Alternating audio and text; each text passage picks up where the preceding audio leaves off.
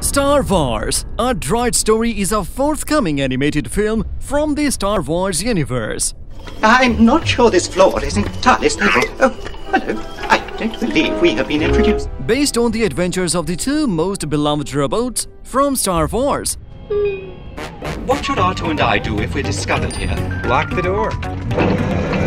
The announcement about this project was made in 2020. The rumors are that this project will also be under the supervision of none other than Jon Favreau, the showrunner of the Mandalorian series. being the guy who has the director's ear and has a tremendous amount of input is a lot different than actually being the guy where the buck stops. The story of this upcoming Disney TV special will follow R2D2 and C3PO droids. They think I am some sort of god. These are the robots that can be seen in almost every Star Wars major project. But now they will be back to assist another character from the Star Wars universe.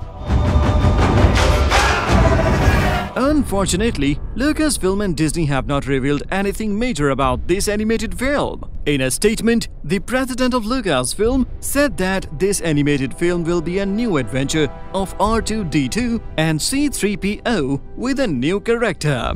The animation of this film will be handled by Industrial Light and Magic as well as Lucasfilm Animation. It is expected that Anthony Daniels will return for the voice of C3PO. The film is scheduled to be aired on Disney Plus in December 2022.